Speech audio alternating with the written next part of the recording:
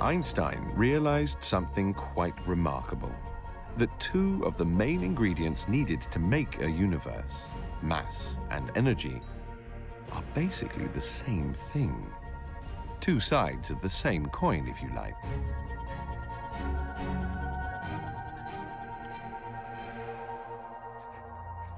His famous equation, E equals mc squared, simply means that mass can be thought of as a kind of energy, and vice versa.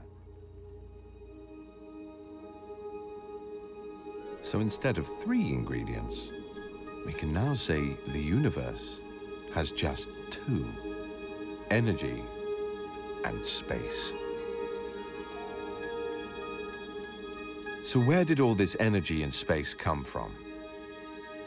The answer was found after decades of work by scientists. Space and energy were spontaneously created in an event we now call the Big Bang. At the moment of the Big Bang, an entire universe full of energy came into existence, and with it, space. It all inflated just like a balloon being blown up.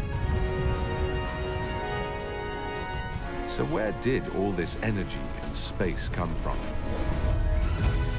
How does an entire universe full of energy, the awesome vastness of space, and everything in it simply appear out of nothing? For some, this is where God comes back into the picture. Stephen Hawking explores Did God Create the Universe? on the premiere of Curiosity, August 7th at 8 on Discovery.